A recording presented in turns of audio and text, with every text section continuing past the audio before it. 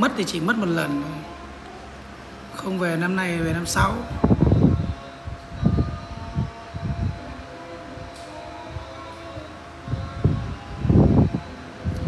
Thằng này tàu cộng mà xăm ngôi sao cờ Trung Quốc là một ngôi sao to và bốn ngôi sao nhỏ. Bạn á, bạn bị ngáo à? Bạn bị ngáo à?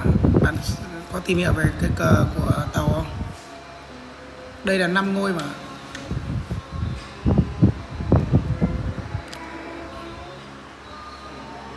Của chung là bốn mà, bốn ngôi nhỏ. Nhỏ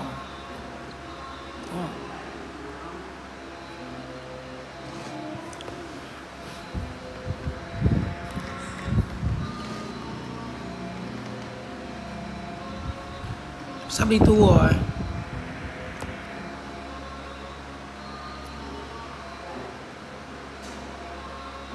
Còn Khánh không xăm dưới chân nhá. Không thích xăm ở bộ phận phần dưới. Từ dưới rốn ra xuống là không xăm gì cả.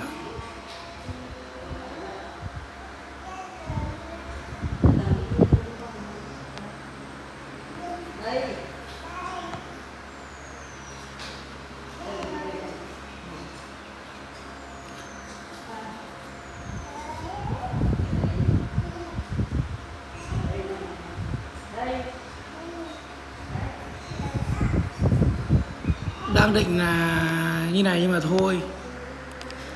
Nghĩ thôi anh em cái này là mình không nên xăm dưới bụng nhỉ? Xăm dưới bụng nó mất cái cảnh đẹp của cái ngực này đi đúng không? Anh em xăm dưới bụng này là- bây giờ bây giờ ví dụ như là xăm cái chùm một cột ở bụng này. Xăm bây giờ xăm cái chùm một cột bụng mấy cả các cái cảnh uh, miền Bắc như là uh, sen này uh, cây đa bến nước sơn đình nó xấu đúng không? Tự nhiên là nó lại xấu mất cái nó nó không nối xuống này đúng không? Nó lại không nên đúng không anh em không nên đúng không? Bởi vì là xăm thế là nó ảnh hưởng đến cái ngực đến nó nó lối thôi. nếu mà muốn xăm cả bụng ấy là phải xăm kiểu trình nhật bản là xăm kiểu trẻ đôi này, này. Nếu muốn xăm dưới thì phải xăm trẻ đôi này. Xăm kiểu nhật bản nó đẹp. Chứ bây giờ tự nhiên mình xăm ở ngực rồi xong mình lại xăm dưới bụng này. Nhìn nó xấu quá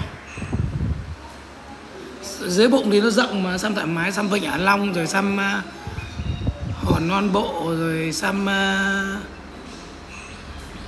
chùa một cột à, rồi cây đa bến nước sơn đình nàng quê bắc bộ.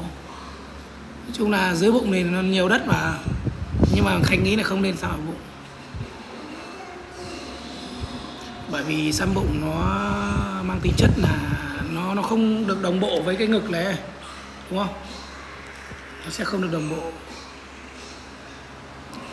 Xăm sen á nếu mà xăm sen thì là xăm ấy.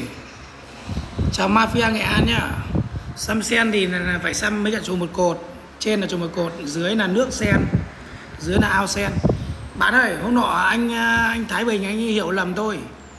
Tôi chỉ lên à, tôi nói là cái thằng xuân xù ấy nó lại làm cái video à, ấy con vịt ấy. Bạn chắc bạn xem là cái video ấy con vịt chưa? Thì tôi chỉ nhắc là sao cái thằng xuân xù lại làm cái trò đấy nhỉ? Anh thái này cứ nghĩ là mình nhận tiền của thằng xuân nên nói. Thằng xuân nó là thằng em út là cái gì đâu mà.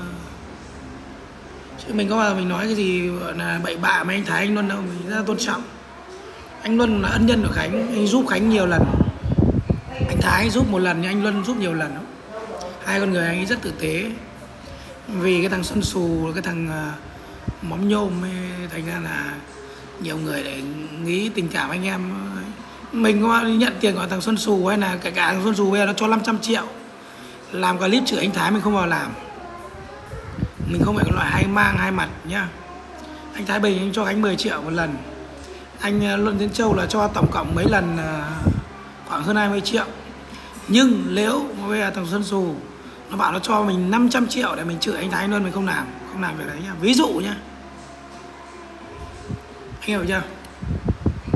Con người nó không phải là loại hai mang đấy là tiền nó là rất là quý nhưng mà không phải tất cả.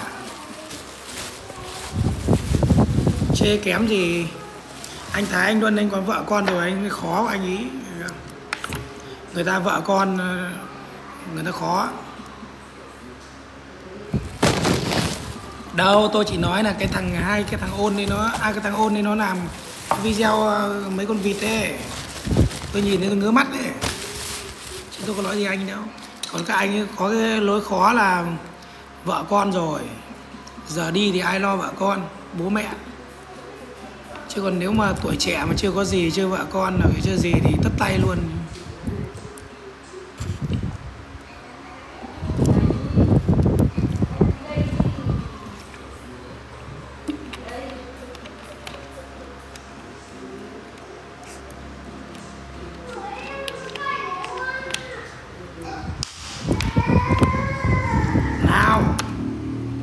Du mục là